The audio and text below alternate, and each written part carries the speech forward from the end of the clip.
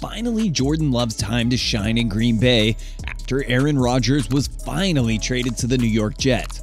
Jordan Love was drafted in the first round of the 2020 NFL Draft in the season after Aaron Rodgers and the Packers went 13 and 3 and lost in the NFC Championship game. Many analysts thought the Packers would address a weapon to complement Rodgers' game, but they ultimately decided to go after his future replacement with the kid out of Utah State University. Jordan Love hasn't shown much in his limited playing time in Green Bay, but now it's time for him and the offense to get ready to see if he can prove why he has a first round draft pick. Jordan Love was a two star recruit out of high school and ultimately went with Utah State over the likes of smaller schools in eastern Washington and northern Arizona. After redshirting as a freshman, he was named the starter for his sophomore year of school. He played in all 13 games, posting 3,567 passing yards for 32 touchdowns to only 6 interceptions. His team made it to the 2018 New Mexico Bowl, where Love was named the MVP of the game after he passed 359 yards for 4 touchdowns. Utah State's 2018 campaign was so good, they finished with an 11 2 record and ranked number 22 in the AP poll. After an impressive sophomore year, Love looked to continue to make strides in his junior year and went for north of 3,400 yards passing with 20 touchdowns. In 2020, Jordan Love was listed as the third quarterback on the depth chart behind both Aaron Rodgers and Tim Boyle, and he was inactive for every single game. But in 2021, the Packers moved Jordan Love up to the second string quarterback. He got his first bit of playing action in week one when the Packers lost big time. 38 3 in relief of Aaron Rodgers. But what many people remember about Jordan Love's first impression in the NFL is when he was named the starting quarterback for a game against the Kansas City Chiefs when Aaron Rodgers had tested positive for COVID and was deemed ineligible to play. Love showed both promise and a reason for concern in his first ever NFL start, where he threw for 190 yards, one touchdown, and a pick.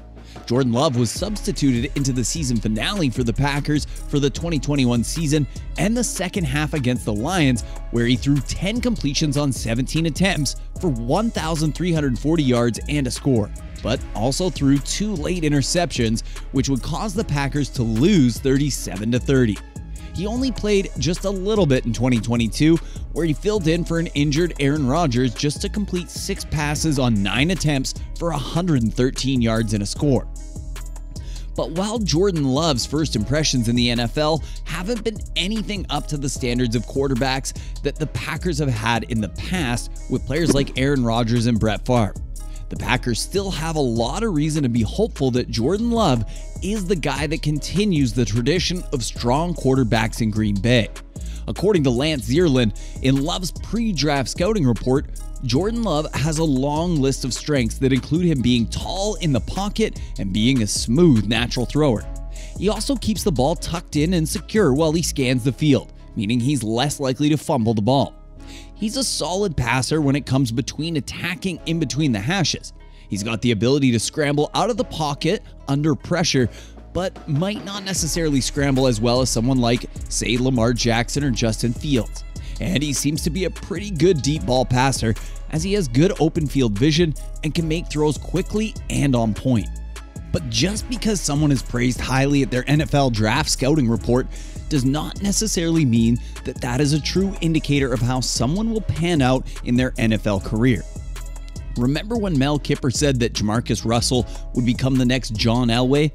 Well, how did that turn out? Not so good, right?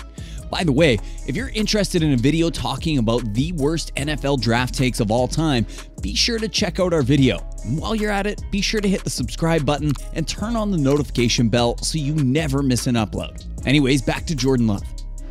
The truth is, we're being way too harsh on Jordan Love for such a small sample size that we've seen him play. Jordan Love had to sit behind Aaron Rodgers for three years, just how Rodgers had to sit behind Brett Favre for three years. Jordan Love does not have one full season under his belt, so it's not fair to be too harsh on him just yet. But it is okay to be critical let's at least give him one full season as the starter in Green Bay to fully determine if he is the guy for the future or not. The Green Bay Packers did sign him to a one year extension, though. And while Aaron Rodgers has seemed to have taken some of Green Bay's top weapons with him to New York, players like Randall Cobb and Allen Lazard, Jordan Love still does have some pretty impressive weapons to target on offense. First, let's start with his running game duo of Aaron Jones and A.J. Dillon. Both of these guys together are arguably the best backfield duo in all of football, and have been that way for at least the past two seasons. Then they have Christian Watson out of North Dakota State University on the second year of his rookie deal, who had a lot of positive plays last year in 2022. They still also have Romeo Doubs, who showed glimpses of hope for the Packers in 2022. They also added on a high prospect wide receiver in the draft in Jayden Reed out of Michigan State. And the Green Bay Packers offensive line is still pretty solid with Josh Myers under center, and on the left side of the offensive line with Dave Bakhtiari and Elgton Jenkins. Now, Jordan Love probably will never turn out to be a four time NFL MVP like Aaron Rodgers, but he does have the physical attributes and athleticism to turn into a top 16 quarterback with the right tools around him. And for right now, he does appear to have a nice list of guys to work with. Earlier in the offseason, Jordan Love and the offense were seen practicing drills, which caught the eye of media personalities. And it appears that Jordan Love is ready to take over the starting job for quarterback in Green Bay, and he has a big ex- expectation to live up to. With Brett Favre and Aaron Rodgers leading the pack for Green Bay for the past 30 years, it's finally time for Green Bay to start a season without one of the two legends leading the way. What are your thoughts on Jordan Love and the Green Bay Packers? Where do you think they will finish in the NFC North this year? Do you think Jordan Love takes that next step? And how much different are the Packers' offense without Aaron Rodgers? Be sure to leave your comments and video suggestions down below, and if we choose your video idea, we'll shout you out in the video. Jordan Love's goal with the Packers will be trying to find the end zone and win games. Our goal here at Endzone Football is to provide you with frequent, high quality videos discussing all sorts of NFL content. So if you're new, be sure to hit the subscribe button and like the video. And if you're a soccer fan at all, be sure to check out our friends at Football Magic for some of the latest soccer content on YouTube. Remember, stay blessed and to always follow your dreams. That's all for this one, and we'll see you next time here on Endzone Football.